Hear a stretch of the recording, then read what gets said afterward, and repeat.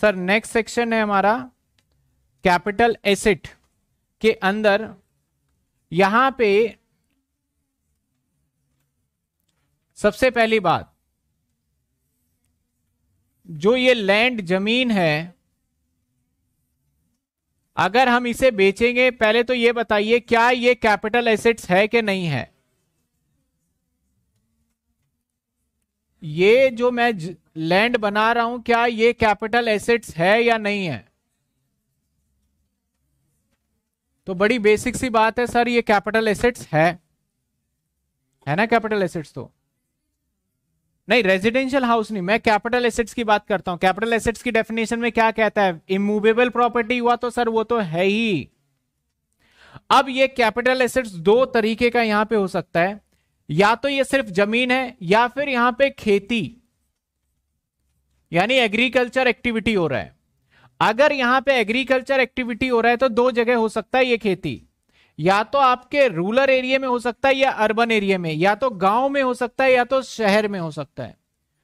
Sir, या तो rural area में होगा, या अर्बन एरिया में। अगर मैं रूरल एरिया की बात करूँ रूरल एरिया की बात करूँ और अर्बन एरिया की सर रूरल और अर्बन में क्या डेफिनेशन है? डिफरेंस है सर अभी पता चल जाएगा। सरकार ने, अगर इस पे खेती कर रहे हो, खाली ज़मीन है तो कहीं भी हो, भैया टैक्सेबल होगा। अगर सिर्फ़ आप इस पे खेती कर रहे हो तो सरकार ने किसानों को ना बहुत बेनिफिट दिया हुआ है एग्जामेशन बोला हुआ है कि आपसे हम इस बात पे टैक्स नहीं लेंगे, इस बात पे नहीं लेंगे। आप खेती करिए, आप अपने आप को सर्वाइवल करिए, अच्छे से रहिए लिविंग स्टैंडर्ड बढ़ाइए। तो कहा गया, जो गाँव में रहते हैं उनसे हम टैक्स नहीं लेंगे। तो सर, जब टैक्स नहीं लेंगे तो इसको कैपिटल एसेट से भी बाहर कर दिया गया डेफिनेशन में। बोला गया कैपिटल एसेट सारे के सारे इमूवेबल प्रॉपर्टी होंगे, लेकिन उसमें एग्रीकल्चर लैंड जो कि रूरल एरिया में है, वो इंक्लूड नहीं होगा। मैंने नीचे नोट में भी बताया था। यानी सर अर्बन एरिया वाला जो होगा अर्बन एरिया वाला होगा, वो इंक्लूड होगा। अब सर रूरल एरिया में कैसे पता चले? इसका पूरा दायरा है, जब हम एग्रीकल्चर चैप्टर करेंगे तो वहाँ पे मैं पूरा सीक्वेंस बताऊँगा कि आपके 10 किलोमीटर में एमसीडी वाले आते हैं पॉपुलेशन इतना होना चाहिए 5 किलोमीटर में इतना है 20 किलोमीटर में इतना है, वो पूरा है। अभी फ़िलहाल इस चैप्टर के अंदर आपको पता होना चाहिए रूरल एरिया का हमारा कैपिटल एसेट्स ही नहीं है तो जब इसको बेचेंगे तो कैपिटल गेन भी नहीं लगेगा। यानी सर, जब अर्बन एरिया में आपका कैपिटल एसेट्स हुआ तो क्या अर्बन एरिया में अगर आपका खेती कर रहे हो तो क्या ये कैपिटल एसेट्स है क्या? आप बोलेंगे, सर, शहर में कहा खेती होती है? मैं बता रहा हूँ, दिल्ली में होता है। किसी ने देखा है दिल्ली में खेती होते हुए?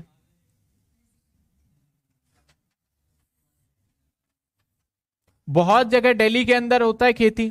तो दिल्ली के अंदर, अब देखो, यहाँ पे ऐसा इसलिए बोला गया, क्योंकि बोला किसान के लिए इनकम माफ़ कर देते हैं। और एग्रीकल्चर इनकम बोलता है, आप दो एक्टिविटी कर लो बेसिक एक्टिविटी और सब्सिक्वेंट एक्टिविटी यानी आप अगर खुद ही खेती कर रहे हो और उसको फिर काट भी खुद ही रहे हो तो आपका मान लेंगे एग्रीकल्चर एक्टिविटी रूरल एरिया में। किसान रूरल को बोला गया अर्बन को नहीं बोला गया। अगर अर्बन को बोला होता तो पता चल रहा होता कि दिल्ली के अंदर भी खेती है, लोग बाग क्या करते? घर बनाते, घर के छत पे खेती करते और उस घर को बेच देते हैं।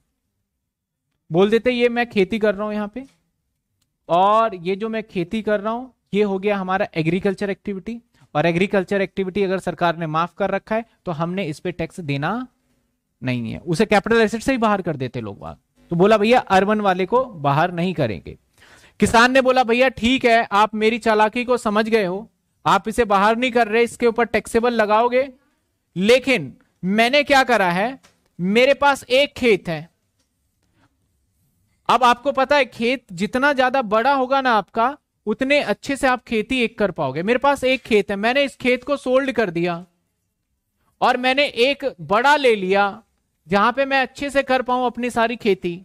एग्रीकल्चर एक्टिविटी बड़े अच्छे से कर पाऊँ। तो अब मुझे क्या टैक्स ले लोगे? मैंने ये पाँच लाख रुपए का, पाँच हज़ार का खरीदा था।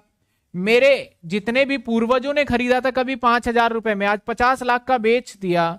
तो क्या आप मेरे मैंने खरीदा भी तो है सर पचास लाख का। तो क्या इस पे आप मेरे से टैक्सेबल ले, ले लोगे क्या? मेरा पर्पस टैक्स कमाना नहीं है। मानते हैं हम अर्बन में लेकिन टैक्स नहीं है। हम खेती करना चाहते हैं एक बड़ा खेती लेते हैं। तो गवर्नमेंट ने बोला तुम्हें भी हम अलाउड कर देंगे ऐसे काम करते हो। और तुम्हें जो अलाउड करेंगे ना वो करेंगे सेक्शन 54 बी के अंदर। ये कैपिटल बी है याद रखना स्मॉल बी लिखते मार्क्स नहीं मिलेगा। बोला, अगर कोई भी अर्बन एग्रीकल्चर लैंड को आप बेचते हो और अर्बन एग्रीकल्चर लैंड को बेचने के बाद वो भी लॉन्ग टर्म होना चाहिए। सर कंडीशन क्या रखा गवर्नमेंट ने? कंडीशन देखिए आप। 1961 से टैक्स बन रहा है तो 1961 से अब तक की चलाकी आपको पढ़नी है। कंडीशन रखा गवर्नमेंट ने। बोला, भैया, सबसे पहले एग्रीकल्चर लैंड कौन सा है? एग्रीकल्चर लैंड उसको मानेंगे हम, जिसपे आपने वर्क किया हुआ हो। ऐसा नहीं कि आज ही आपने स्टार्ट किया, एग्रीकल्चर में नर्सरी वगैरह सब कुछ आ जाता है। आपने आज ही स्टार्ट किया और बोलो एग्रीकल्चर लैंड है, डिडक्शन ले लेंगे। ऐसा नहीं है। एग्रीकल्चर का मतलब आपने इसके ऊपर खेती किया हो कम से कम दो साल। इसका प्रूफ आपके पास होना चाहिए। या तो आपने, या तो आपके मम्मी पापा ने, या आपके दादा दादी ने। आपके परिवार वालों ने अगर इस ज़मीन पे खेती किया है, तब मानेंगे ये एग्रीकल्चर लैंड है, पहला कंडीशन। दूसरा, इस एग्रीकल्चर लैंड को जो बेचोगे, हमेशा लॉन्ग टर्म होना चाहिए। लॉन्ग टर्म होगा, तभी हम आपको डिडक्शन देंगे। डिडक्शन देंगे, कैसे डिडक्शन मिलेगा? तीसरा सर, आपको यहाँ पे जो खेत खरीदोगे तो आप फिर बोलोगे हमें टाइम चाहिए। तो सर, एक साल पहले खरीद लो प्लानिंग के साथ और दो साल बाद कंस्ट्रक्शन तो करोगे नहीं खेती में आप। तो उसके लिए आपको नहीं मिलेगा। एक चीज़ और ध्यान रखना, एक होता है ड्वेलिंग हाउस ड्वेलिंग हाउस क्या होता है, सर? एग्रीकल्चर में पढ़ेंगे ड्वेलिंग हाउस होता है, खेत में आप देखोगे ना, कई घर बना लेते हैं उस खेत की रखवाली करने के लिए। तो उस घर को भी अगर कोई बेचता है तो वो एग्रीकल्चर हाउस माना जाएगा। अगर गाँव में बेचा जा रहा है तो कैपिटल गेन से बाहर होता है, उसे बोलते हैं ड्वेलिंग हाउस ठीक है? कंडीशन नंबर वन जो ज़मीन बेच रहे हो, दो साल तक आपने उस पर खेती किया हुआ हो, और वो लॉन्ग टर्म होना चाहिए, एक साल पहले खरीदा हो, अगर खरीदोगे, तब डिडक्शन मिल जाएगा, और दो साल बाद भी खरीदोगे, तब भी आपको डिडक्शन मिल जाएगा। सर, घर कहाँ खरीदना है? सॉरी घर लैंड कहाँ पे खरीदना है? सर, जो ज़मीन खरीदना है ना आपको, आपकी इच्छा है। खरीदना आपको एग्रीकल्चर लैंड ही है। टैक्स प्लानिंग के लिए आप खरीदो रूरल वाला। यानी गाँव वाली ज़मीन खरीद लो। ताकि फिर दोबारा जब कभी बेचो तो वो क्या हो जाए? टैक्स फ्री क्योंकि अगर मैंने गाँव वाली ज़मीन खरीद लिया रूरल वाली ज़मीन खरीद लिया तो कैपिटल एसेट्स ही नहीं है जब मैं दोबारा बेचूँगा तो।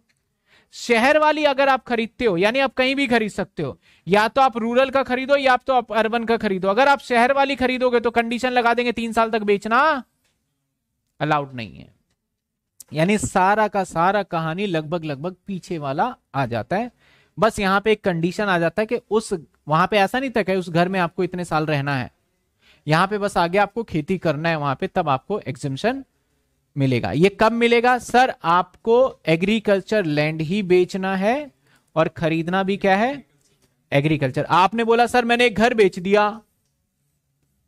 घर बेच दिया पचास लाख का और एक खेत का मैंने ज़मीन खरीद लिया एग्रीकल्चर लैंड खरीद लिया दस लाख का। सर, चौवन बी में डिडक्शन दे दो, ऐसा थोड़ी होगा। चौवन बी कहता है आपका बेचना भी क्या है? एग्रीकल्चर लैंड और खरीदना भी क्या है? एग्रीकल्चर लैंड तब जाके आपको इसका डिडक्शन मिलेगा। समझ में आई बात आपको? क्या कंडीशन है? फटाफट देखिए कंडीशन नंबर वन उस ज़मीन जो होना चाहिए, दो साल आपके खेती होनी चाहिए, कौन करेगा सर? मम्मी, पापा, आप कर लो, दादा, दादी कर ले। इसके बाद आपको वो बेचना है लॉन्ग टर्म होना चाहिए, यानी 24 महीने के बाद बेचा हुआ होना चाहिए। खरीदना क्या है? एग्रीकल्चर लैंड ही खरीदना है। कहाँ पे खरीदना है सर? या आप अर्बन में खरीदो रूरल में, ये आपकी इच्छा है। लेकिन खरीदने के लिए एक साल पहले वाला भी चलेगा सेम ईयर भी चलेगा, दो साल बाद वाला भी चलेगा। और दो साल बाद वाले के लिए आप पैसे को जमा करवा दो। कहाँ? कैपिटल गेन डिपॉजिट अकाउंट के अंदर आप जमा करवा दीजिए उसको। सर, इसके बाद अगर आपने एग्रीकल्चर लैंड रूरल एरिया में खरीदा तो कोई दिक्कत नहीं, बेच दो, कोई टैक्सेबल ही नहीं होगा। अगर अर्बन एरिया में खरीदा तो तीन साल तक होल्ड करके रखना, बेचना नहीं है, तभी आपको डिडक्शन मिलने वाला है। सर, इसी सभी पॉइंट को, सर स्क्रीन पर ट्विटर्स वीडियो डिसेबल्ड आ रहा है। मैं एक बार रिफ्रेश मार देता हूँ, जिसके भी आ रहा है ट्विटर वीडियो डिसेबल्ड अभी आ जाएगा, ठीक। सर, इसके डेफिनेशन को मैंने क्या करा है? अभी मैं पढ़ देता हूँ, इस पर क्वेश्चन नहीं ले रहा मैं। सिर्फ़ मैं इसको पढ़ देता हूँ। क्या कहता है पढ़ते हैं? कहता है, sir who can claim individual और क्या करना है? अर्बन एग्रीकल्चर लैंड बिकॉज़ आपका क्या कहता है? Because agriculture land not a capital sorry rural agriculture land capital assets है ही नहीं है। मैं इसको अलग से कर देता हूँ हाईलाइट हाईलाइट कर देते हैं तो शायद ज़्यादा दिखे। ये लीजिए कहता है, सर, अर्बन एग्रीकल्चर, आपको लैंड ही क्या करना है? ट्रांसफ़र मतलब सोल्ड करना है। सर, अर्बन शब्द का इस्तेमाल इसलिए किया गया क्योंकि because rural agriculture land not a capital assets ये मैंने समझा दिया यहीं पे। इसलिए सिर्फ़ अर्बन शब्द का इस्तेमाल किया गया। सर, क्या कितने टाइम के बाद बेचना है? Agriculture land should be use by parents agriculture purpose at least two year before the transfer पुराने आपको किया हुआ होना चाहिए। सर इसके बाद और क्या है? और कहता है आपका कौन सा होना चाहिए सर लॉन्ग टर्म और शॉर्ट टर्म हाँ यहाँ पे मैं बताना भूल गया एग्रीकल्चर में आपको शॉर्ट टर्म भी दिया गया है। लॉन्ग टर्म भी चलेगा और शॉर्ट टर्म भी चलेगा। सर, ये बात है जो डिडक्शन लॉन्ग टर्म भी चलेगा और शॉर्ट टर्म भी चलेगा, इसका ध्यान रखना। मकान में क्या था, सिर्फ़ लॉन्ग टर्म यहाँ पे दोनों है लॉन्ग टर्म और शॉर्ट टर्म एक दो सेक्शन है जो शॉर्ट टर्म को अलाउड करता है, जैसे कि एक हमारा शॉर्ट टर्म को और कौन अलाउड करता है? Long term long term long term अभी देख लेंगे बाद में। हाँ अगले पेज पे है, कहाँ पे है? हाँ ये रहा। तो बाद में देख लेंगे, पहले ये देखते हैं। चलिए एलिजिबल सर एलिजिबिलिटी का मतलब क्या है सर एलिजिबिलिटी मतलब आपको क्या खरीदना है? आपको वेदर इन रूरल एरिया और अर्बन एरिया इसका लाइन ना थोड़ा इधर शिफ्ट हो गया था। वेदर एक्वायर ये पहले, ये वाला पहले है। Whether acquire agriculture land in rural area और अर्बन एरिया कहानी ये है। थोड़ा सा वो ना टेबलर फॉर्म में गलत हो गया आगे पीछे। समझ में तो वो समझ जाइएगा जो मैंने कटवा दिया था। Sir max period allowed investment sir within a two year from the date of transfer investment maximum period है। एक साल पहले भी कर सकते हो, आपका मैंने यहाँ लिखा नहीं है, बाकी आपको मैं किताब में मिल जाएगा। सर क्वांटम अमाउंट सेम वही लोअर मिलेगा आपको। क्या कैपिटल गेन डिपॉजिट में? Yes sir capital gain deposit में आप रख सकते हो। तो ये था हमारा सेक्शन नंबर 54 बी बताइए, इसमें कोई डाउट प्रोविज़न में बताइए। डिडक्शन के लिए मैं एक सवाल ले लूँ क्या? करवा देते हैं एक सवाल। या अगली क्लास में करेंगे सवाल। रुक जाइए, पहले इसको तो पढ़ लीजिए, कोई डाउट है तो पूछ लीजिए। अभी तक क्या क्या हो गया कैपिटल गेन में? और देखिए, मैं रिवीजन करवा रहा हूँ, उससे ज़्यादा आपकी रिस्पॉन्सिबिलिटी बनती है कि आप रिवीजन करें इसको। ठीक है? उससे ज़्यादा आपकी रिस्पॉन्सिबिलिटी बनेगी रिविजन करें। सबसे पहले क्या था sir? Capital assets capital gain हमेशा लगेगा किस पे? कैपिटल एसेट्स पे। सर, बात अगर करें कैपिटल एसेट्स क्या होता है? सर, सभी तरीके का प्रॉपर्टी को कैपिटल एसेट्स कहते हैं, चाहे बिज़नेस से रिलेटेड हो नॉन बिज़नेस लेकिन इसमें कैटेगराइज कर दिया गया, अगर वो मूवेबल है या इमूवेबल इमूवेबल तो सारे के सारे एसेट्स क्या होते हैं? कैपिटल एसेट्स होते हैं एक्सेप्ट बताइए कौन सा? जितने भी इमूवेबल प्रॉपर्टी है, सभी कैपिटल एसेट है एक्सेप्ट कौन सा एसेट्स छोड़ के कैपिटल एसेट्स होता है मूवेबल नहीं होता। सवाल समझ में आया? मैंने बोला सारे इमूवेबल इमूवेबल मतलब land and building capital assets होते हैं। एक एसेट्स ऐसा है जिसको छोड़ दिया गया है। रूरल एरिया का क्या एग्रीकल्चर लैंड को छोड़कर, जो कि यहाँ कंसीडर मैंने बताया था। मूवेबल के अंदर देखा जाए सर तो या तो पर्सनल हो सकता है। मूवेबल के अंदर देखा जाए तो क्या हो सकता है? या तो सर बिज़नेस के लिए यूज़ हो सकता है या फिर पर्सनल यूज़ हो सकता है। अगर बिज़नेस के यूज़ के बात करें तो बिज़नेस में तो सभी कैपिटल गेन है। पर्सनल के अंदर कोई कैपिटल गेन नहीं लगेगा, लेकिन यहाँ एक्सेप्शन है ज्वेलरी होगा तो लगेगा। आपका आर्कियोलॉजिकल कलेक्शन है तो लगेगा स्कल्पचर है तो लगेगा ड्रॉइंग है तो लगेगा आर्ट है तो लगेगा पेंटिंग है तो लग जाएगा आपका। सर, इसके बाद हमने क्या देखा? कैपिटल एसेट्स समझ लिया। सर कैपिटल एसेट्स होना चाहिए। कौन से? दो टाइप के हमारे कैपिटल एसेट्स होते हैं। ये ट्रांसफ़र वाली पॉइंट इतने इंपॉर्टेंट है नहीं। तो सर, कैपिटल, ये मैंने डेफिनेशन बता दिया था आपको क्या क्या लगना है। यहाँ पे भी नोट में देखे लिखा था capital asset does not include stock in trade rural agriculture land और ये सारे जो मैंने बॉन्ड वगैरह लिखा हुआ है, ये सारी बातें हैं। तो मैंने कोशिश करी है कि सारे सारे पॉइंट्स ना छोटे से चार्ट में, क्योंकि बहुत बड़ा चैप्टर है ये। तो आप चार से तीन से चार पेज में ना पूरा चैप्टर पूरा रिवाइज हो जाए। प्रैक्टिस तो आपके ऊपर करने की है। सर कैपिटल एसेट्स कितने टाइप का होता है? या तो होगा शॉर्ट टर्म या तो होगा long term long term short term की डेफिनेशन मैंने सेक्शन में लिख दिया बयालीस और ये बनता है दो उनतीस के अंदर. सर सिंपल सी बात है कैटेगराइज किया गया बारह, चौबीस, छत्तीस. बारह महीने में कुछ शेयर्स है और आपके बॉन्ड्स है कुछ. चौबीस महीने में लैंड एंड बिल्डिंग है प्रेफरेंस शेयर अनलिस्टेड शेयर है. छत्तीस महीने में बाकी बचा हुआ सभी को रख दिया गया है. इसके बाद हमने क्या देखा था, सर? इसके बाद देखा था कैलकुलेशन कैसे होगा। कुछ बच्चे पूछ रहे थे, सर शॉर्ट टर्म पे क्या इंडेक्सेशन नहीं होता? देखो, यहाँ शॉर्ट टर्म पे मैंने कहीं भी वर्ड नहीं लिखा है कि आपका कॉस्ट ऑफ़ एक्विजिशन इंडेक्स यहाँ पे लिखा हुआ इंडेक्स कॉस्ट ऑफ़ एक्विजिशन तो शॉर्ट टर्म में इंडेक्सेशन नहीं होगा लॉन्ग टर्म के अंदर होगा। कुछ एक ऐसे एसेट्स हैं जिसके ऊपर कभी भी इंडेक्सेशन अलाउड नहीं है, चाहे वो शॉर्ट टर्म हो, चाहे लॉन्ग टर्म हो। कौन कौन से, सर? कुछ डेप्रिशिएबल एसेट्स जैसे लैंड प्लांट एंड मशीनरी और फर्नीचर कुछ डिबेंचर और बॉन्ड, सारे डिबेंचर और बॉन्ड कभी भी लॉन्ग टर्म नहीं होंगे, हमेशा शॉर्ट टर्म होंगे और लिस्टेड इक्विटी शेयर पे इंडेक्सेशन अलाउड नहीं है। इसके नीचे की जानकारी हम बाद में देखेंगे। और साथ के साथ इसके बाद क्या देखा था? कुछ सवाल देखा था। इसके अंदर हमने क्या देखा था? सर, हम नॉर्मली कैपिटल गेन यहाँ पे निकाल लेते हैं, लेकिन अगर हमने घर को खरीदा हो एक चार दो हज़ार एक से पहले तो हम मार्केट वैल्यू कंसीडर करेंगे एक चार दो हज़ार एक के वाला और इंडेक्सेशन भी उसी दिन से लेंगे। इस सवाल में क्या देखा था, सर? इस सवाल में हमने फिर से अगेन वही देखा था। यहाँ पे अगर कोई भी प्रॉपर्टी मिल जाता है आपको, यहाँ पे गिफ्ट वाला था शायद।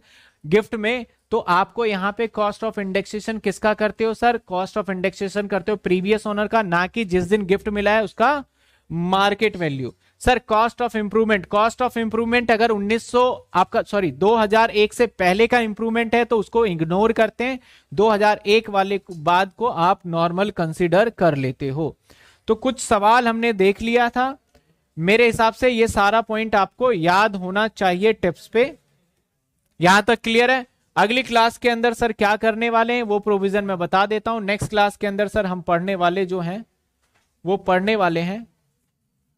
सर, ये पूरा का पूरा 54 बी 54 आपका डी बी तो हो ही गया। D E C double E F G G A G B important कौन सा है, सर? हर बार 54 और 54 बी रिपीटेड मोड पे आया हुआ है एग्ज़ाम के अंदर एन टाइम मतलब कि आता ही आता है, लगभग आ जाता है। बाकी ऐसा नहीं कह रहा कि डी इंपॉर्टेंट नहीं है। हाँ लेकिन प्रैक्टिकल क्वेश्चन में नहीं आता। ये दोनों प्रैक्टिकल क्वेश्चन में आ जाता है कुछ सेक्शन और भी देखेंगे। अगली क्लास के अंदर ये सेक्शन जैसे ही खत्म कर लेंगे हम फिर हमारा सेक्शन 45 की कुछ सीरीज़ रह जाती है। आ, वो कर लेंगे स्पेशल केसी से कुछ। उसके बाद फिर कैपिटल गेन के हम प्रैक्टिकल बड़े बड़े सवाल कर पाएँगे ठीक है? और फिर मिलते हैं चलिए। अब बताइए किसी का कोई डाउट है तो।